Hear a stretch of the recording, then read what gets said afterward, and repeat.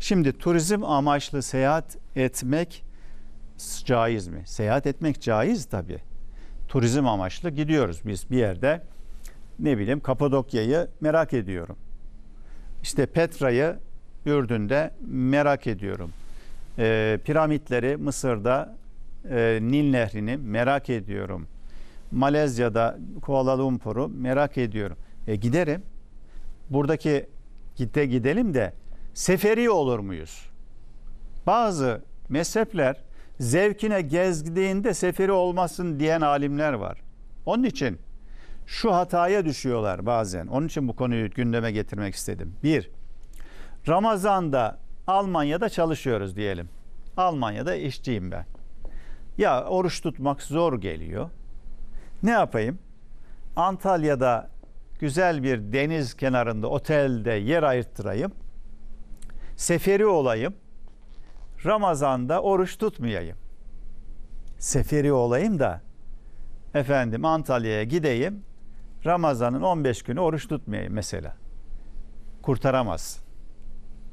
Çünkü bazı alimlere göre sen sırf tatil için gittiğinde seferi değilsin. Orucunu tutacaksın. Böyle kaçamak yok. Bundan dolayı günaha girersin. Tesettür mayosuyla denize girmek uygun mudur?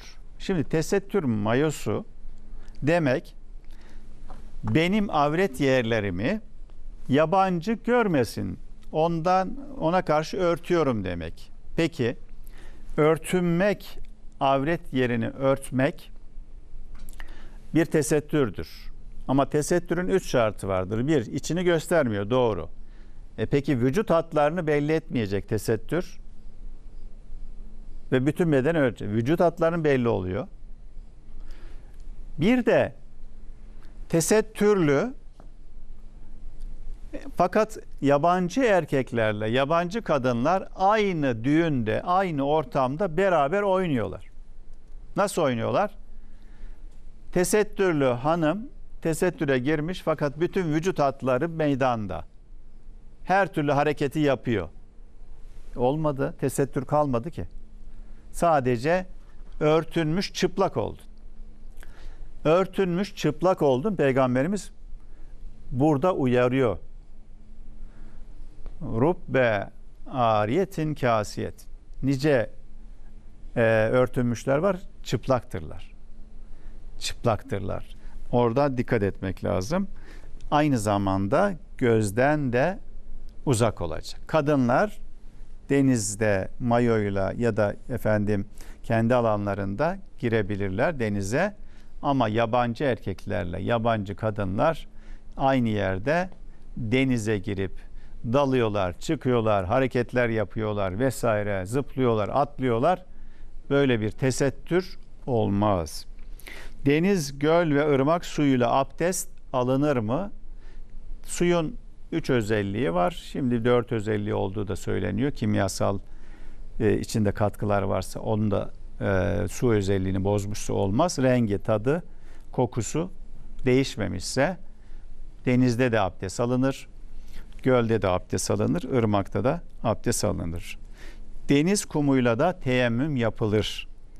Tatillerde açık büfeler israfa girer mi? Girer. Açık büfede insanlar yediğinden fazlasını alıyorsa israfa girer. İsraf nedir? İhtiyacından fazlasını almaktır. Bir de aldığını geri bırakmaktır. İsraftır. Bu harama girer. O yüzden yiyeceksin, doymadıysan tekrar alacaksın önceden hepsini alıp masayı doldurup birkaç tane tadına bakıp geri bırakmayacaksın. Bundan dolayı belki yapılan israfla bir Türkiye daha doyar. Allah akıl versin, izan versin. E, Çin, İtalyan, Kore mutfaklarında yemek yenilebilir mi? E, etle ilgili e, ya da yağlarla ilgili, başka malzemelerle ilgili, katkılarla ilgili size güvence veriliyorsa bu tamamen e, işte vejeteryan usulüne göre yapılmıştır. Bunda domuz katkısı yoktur. Bunda efendim herhangi bir e, domuz eti yoktur.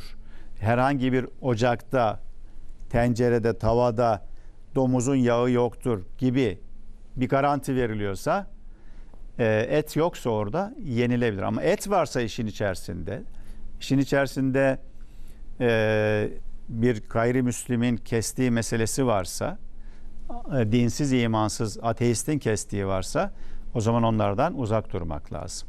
Et olan, ya balık gibi şeyler yenilebilir, sebze şeyleri yenilebilir. O da yağına e, ve diğer maddelerine dikkat etmek şartıyla. Gittikleri yerlerde tatil fotoğraflarını paylaşanlar günaha giriyor mu? Müstehcen şeyleri paylaşıyorsa, israfı paylaşıyorsa, gösterişi paylaşıyorsa, özel hayatını paylaşıyorsa, yani adam ev, evde hanımıyla baş başa nasıl duruyorsa, çarşıda gitmiş hanımıyla öyle bir resim çektirmiş, el ele, diz dize, kol kola, yanak yana onu paylaşıyor. Böyle paylaşım olmaz ki. Herkes onu görüyor. Ya insanlar eskiden eşinin ismini bile kıskanırlardı, ismini. Refikam derlerdi, refikam. Kızının ismini kıskanırlardı, kerimem derlerdi. Kerimem derlerdi. Şimdi hiçbir şeyini kıskanmıyor. Her şey meydanda. Bu da günah. Dikkat etmek lazım. Sadece kadınlara ait bir mekanda mayo, bikini vesaire gibi sadece kadınlara ait yerlerde, hamamlarda, efendim oralarda eğer bir gayrimüslim yoksa bunlar caizdir deniyor. Daha fazla video izlemek için kanalımıza abone olabilir, ilk izleyen olmak isterseniz bildirimleri açabilirsiniz.